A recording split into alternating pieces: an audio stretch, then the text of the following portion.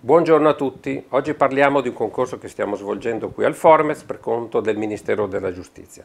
Stiamo cercando 8.171 persone che andranno a lavorare nell'ufficio del processo. Collaboreranno con i magistrati per smaltire l'arretrato che giace nei nostri tribunali. Chi cerchiamo? Laureati in giurisprudenza e anche per una piccola quota laureati in economia e laureati in scienze politiche. Due aspetti importanti.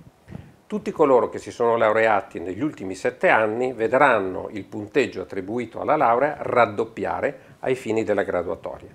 Inoltre i candidati potranno scegliere tra 26 diverse sedi nel territorio nazionale in cui lavorare.